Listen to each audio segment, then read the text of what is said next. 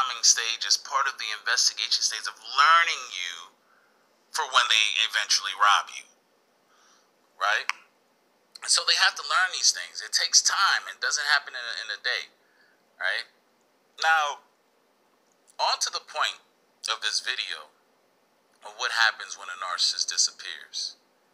Now that the narcissist has learned how you operate, what your habits are, what you do, okay, um, the response, and they, they've got it down to a T. They know you better than you than you know yourself in a lot of ways, and not always, but usually narcissists, uh, they they bait you into arguments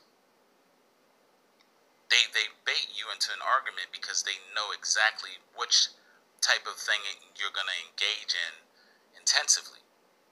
Typically, it's something that you thought you already had hashed out and got over with, but they're bringing it up again.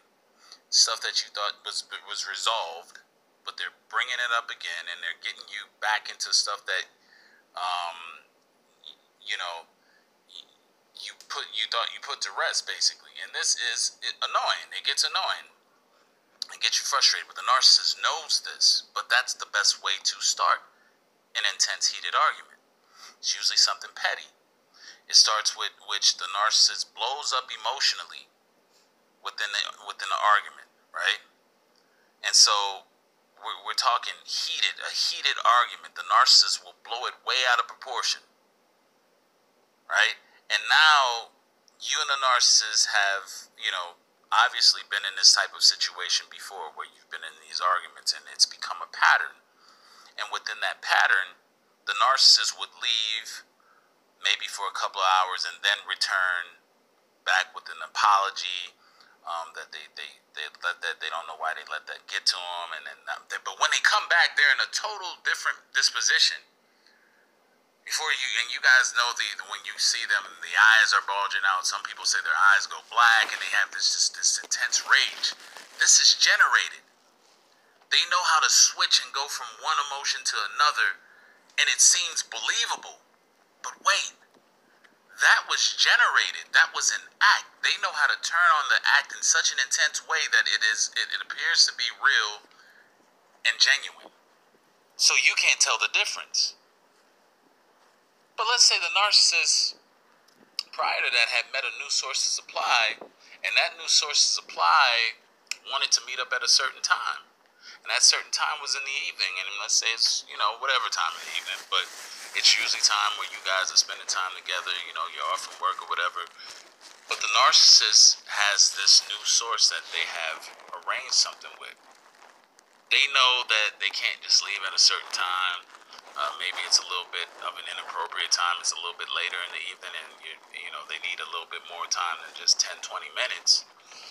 So here comes the ensuing argument, right?